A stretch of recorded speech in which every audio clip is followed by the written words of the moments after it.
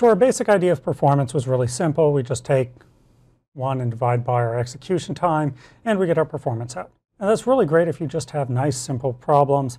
Maybe you're only looking at one task. You, want, you can run it on one machine, see how long it takes. Then you can just plug it into the equation.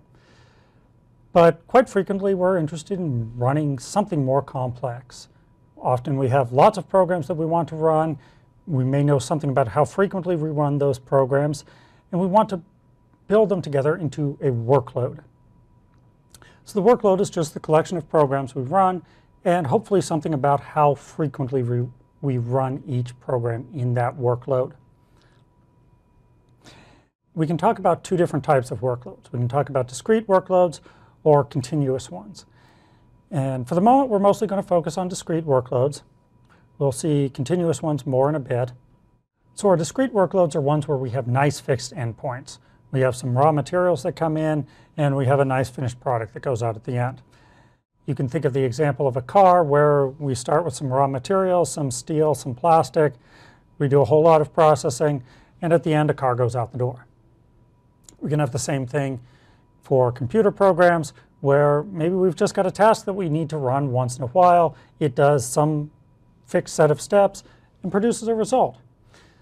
That's really nice, and a lot of things do correspond to that. But not everything does. But that doesn't work for everything. Sometimes we don't really have nice fixed steps that we seem to go through to get from a nice start point to a nice end point. Instead, we may just have some program that kind of runs continuously. It does lots of work for us, but the granularity there is really small, and maybe we're really just interested in how much work it finishes in some amount of time. In that case, we'd be more interested in specifying that workload in continuous terms.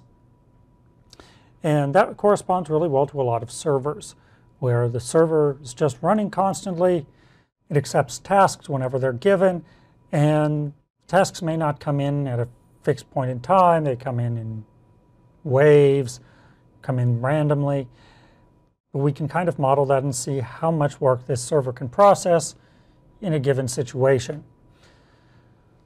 For the moment, we're going to focus on discrete workloads, just because those are really easy and they correspond really well to the idea of execution time that we've looked at so far.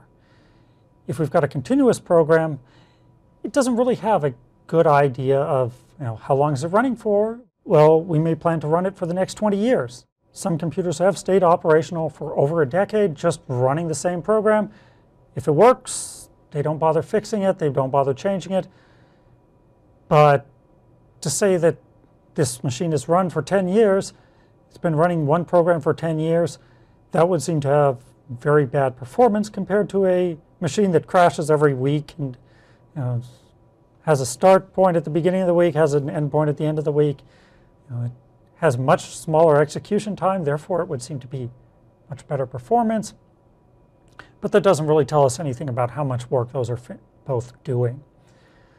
So we will look at continuous workloads a little more later. For the moment, we're going to focus on discrete workloads.